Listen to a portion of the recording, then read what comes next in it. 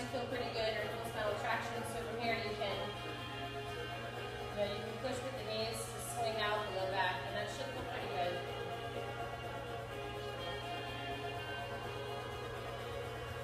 Use the hands as well.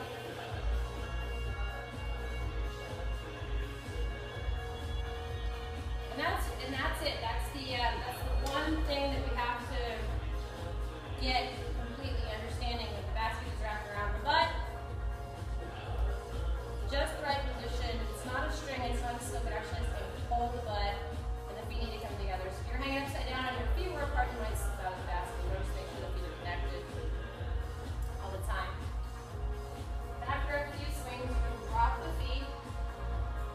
back up.